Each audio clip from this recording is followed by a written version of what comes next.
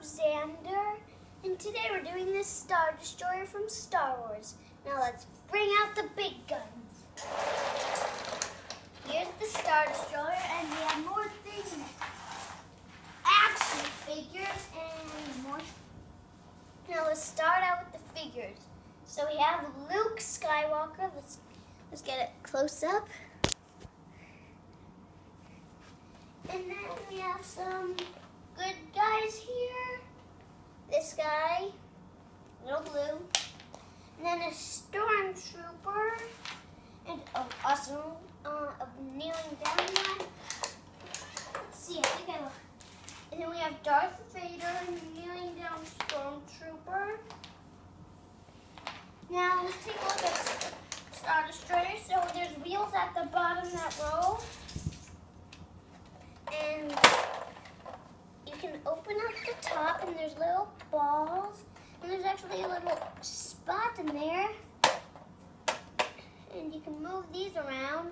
The antennas, they're little fake rooms carved in there. And there's also a switch that turns it on and off.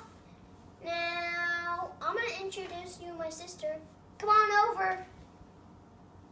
And my dog, Roxy. Now come on over, guys.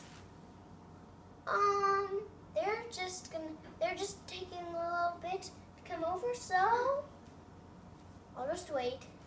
Oh, here they are. Hey, guys. Hi, Rox. So here's my dog. Hey, come back here. And now she's crawling around. Now let me introduce you, to my sister. Say Hi, Roxy. Say hi to the camera. Hi, camera. Now you can go back now. Hi to the camera. So that was my sister now. We'll put these guys in there. So we have a strong stormtrooper that can be hiding in here. So we can put him in there and stormtrooper. And then let's put Darth Vader, of course. Never forget him. Where did he go? Hey, dude, come back, you bad guy. He's in front of the ship.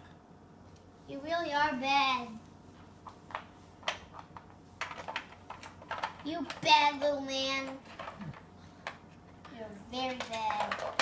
There we go. And then stick his lightsaber in there.